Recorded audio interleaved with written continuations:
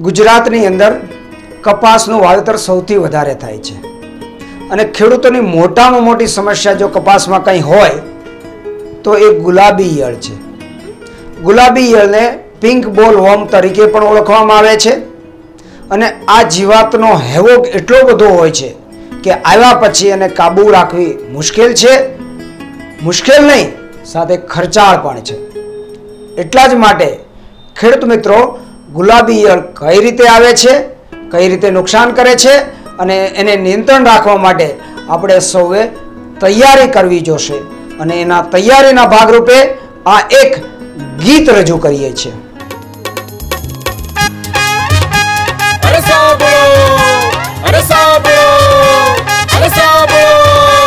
અરે અગમ ચેતી સાંભળો, ખેડૂત ભાઈઓ મારા, નુકસાન કરે ગુલાબી ઈયળ કપાસને તમારા. જીંડવાની કોરી ખાવે એની ભીતર ઘર બનાવે ઈંડાની વણઝાર વસાવે તોય નજર ના આવે અરે અગમચેતી તક થૈયા થૈયા તા થઈ તક તક થૈયા થૈયા તા થઈ આગ લાગે ત્યારે કૂવો પાણી નો ના ખોદાય ગુલાબી ઈયળ આવે તો શરૂથી અટકાવાય તા થૈયા થૈયા તા થઈ તક તક થૈયા થૈયા તા થઈ ફેરોમેન ટ્રેપ ને પાકમાં મૂકીને અણસારો લઈએ ફૂદાની સંખ્યા જોઈને થૈયા થૈયા તા થઈ તક તક થૈયા થૈયા તા થઈ બીટીની ફરતે નોન બીટીની પડી ખીવાવીને પાક બચાવો ખેડૂ ઈયળ ગુલાબી અટકાવીને અરે અગમચેતી તા થૈયા થૈયા તા થઈ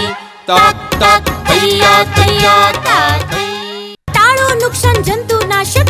છાંટીને બ્યુવેરિયા બેસિયાના ફૂગને પણ છાંટીને અરે અગમચેતી તા થૈયા થૈયા તા થઈ તક તક થૈયા થૈયા તા થઈ ગુલાબી ઈયળ નથી તો છે લીલો કપાસ ને લીલો કપાસ એટલે ખેડૂતનો વિકાસ છોડી ચિંતા બસ થોડી રાખો ની દરકાર જાણો बनो तो खुशियानी वंजार अरे अगम चेती। ताक तैया तैया, ता, तै।